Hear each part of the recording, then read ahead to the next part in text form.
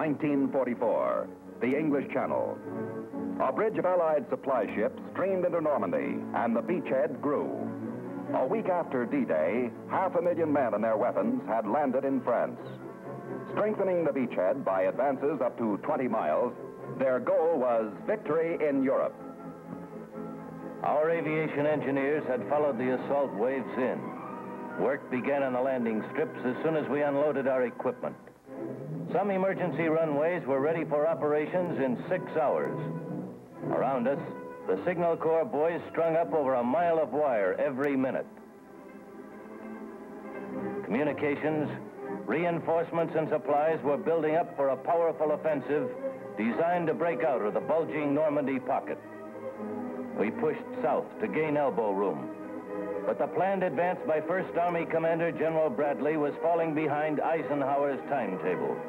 We kept jabbing toward Saint-Lô in rough hedgerow country, a stubborn struggle against strong enemy resistance. The Germans, although one counterattack was smashed, rallied again. They ordered up crack parachute regiments and panzer divisions to seal off the Allied beachhead. Hitler ordered his divisions to hold and force a stalemate. Methodically, they scoured the front with fire to prevent any break through Saint-Lô. German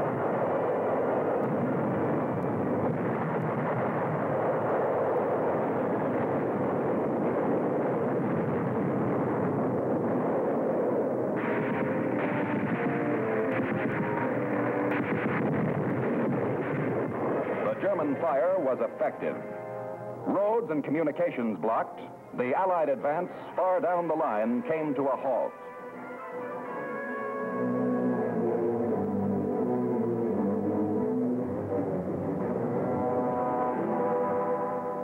These were the worst days of the bloody Normandy campaign. The ground troops dug in and waited for a break. Those of us in Pete Quesada's 9th Tactical Command had been waiting too. Now, clearing weather gave us a chance to crack the Saint-Lô block. 300 fighter bombers in half an hour. Following us were the heavies. 1,500 were to pass over the target within 60 minutes. A plane every two seconds. Cobra was the plan name. With it, Eisenhower hoped to demoralize the enemy in a sector five miles long and one mile wide. Medium bombers, Nearly 2,400 planes wove this carpet of bombs.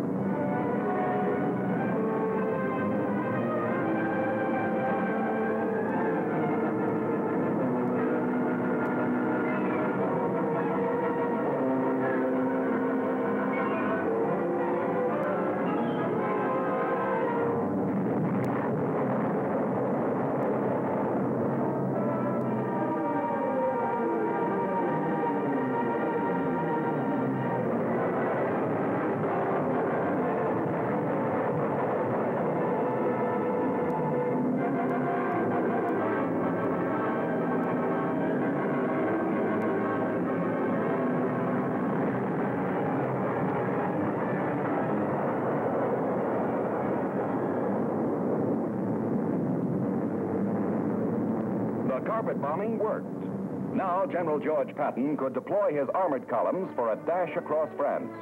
But his right flank would be open. So he made a deal with air for close support. Assured that General O.P. Weyland's 19th Tactical Air Command would provide fighter bomber protection, Patton plunged towards Germany, 400 miles away. This signaled the start of air tank warfare with extraordinarily successful results.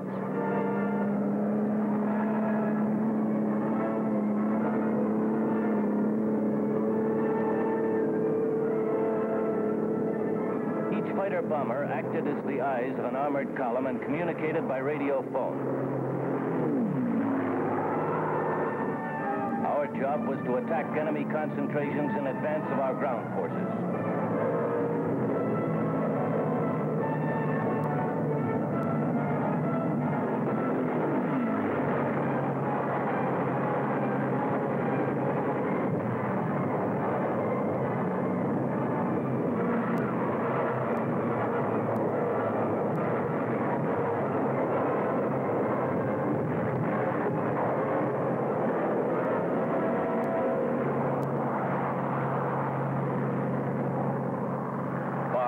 September, the Allies, clear of the hedgerows and in command of the situation, now pursued the enemy.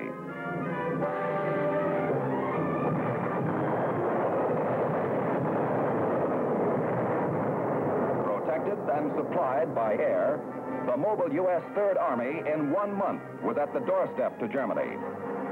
Air tank teams in their famous dash across France had opened a road to freedom.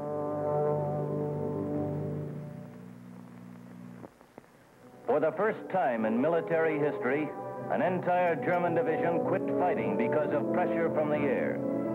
Credit for these punishing attacks goes to the 19th Tactical Air Command.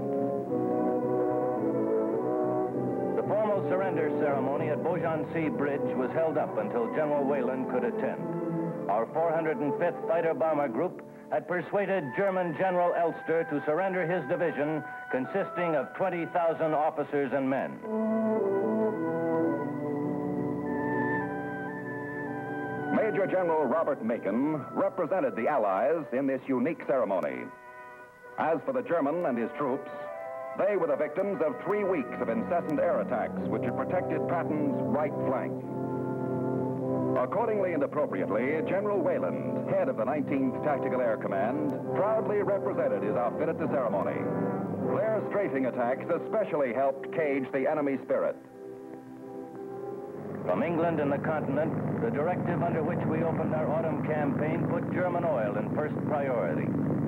Next on our target list came munition plants, transportation, and aircraft factories. Our orders were to flatten what was left of enemy war production.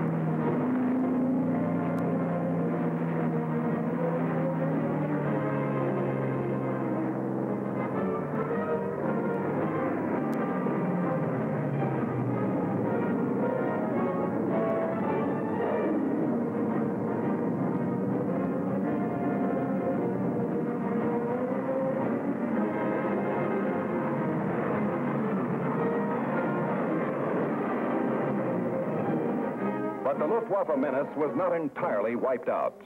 With amazing recuperative powers, with underground factories, with hoarded gasoline, with 350 airfields, the Germans again had air power. General Spaatz reported to Washington that the German Air Force had more fighter planes toward the end of 1944 than ever in its history.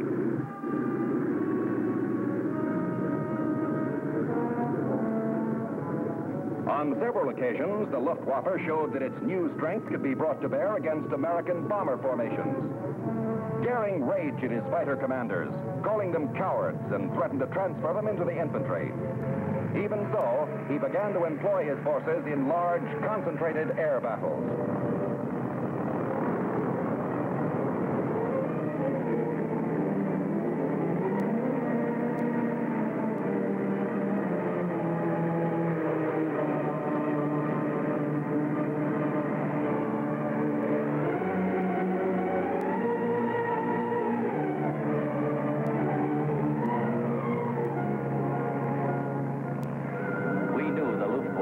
Desperate. Nevertheless, eight Air Force bombers pushed through to deliver our knockout punch.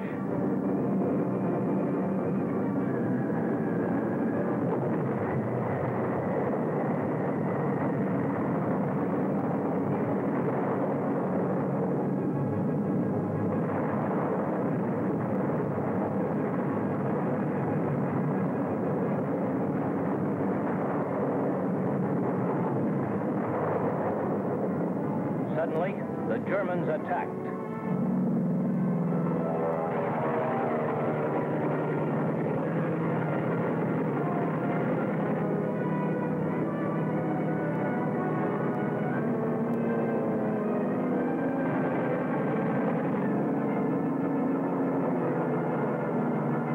American air superiority couldn't be shaken. Germany was about to suffer the hell she herself had created.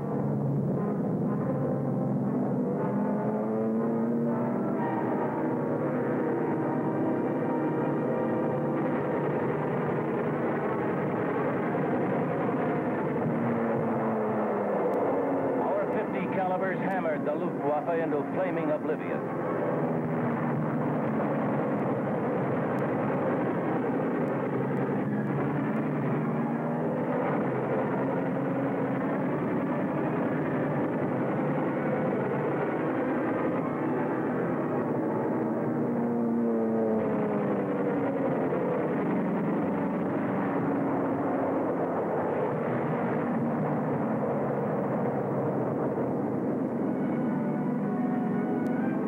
The Luftwaffe had shot its last bolt. There was blood in the skies over Germany. German blood. Our final air campaigns now swoop down to spread the paralysis of defeat.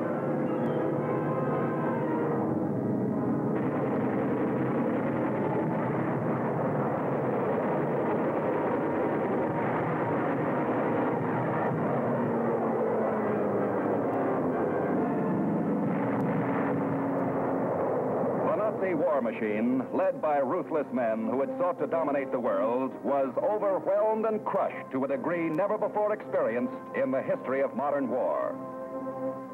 With final capitulation by German leaders, a great war had been won. The men who won it, the Allied armies, navies, and air forces, had triumphed over a host of relentless, desperate, and powerful enemies. At the Berlin surrender, the U.S. Air Force was ably represented by General Spaatz, who helped lead the Allied air supremacy, which had trampled out the path to victory in Europe.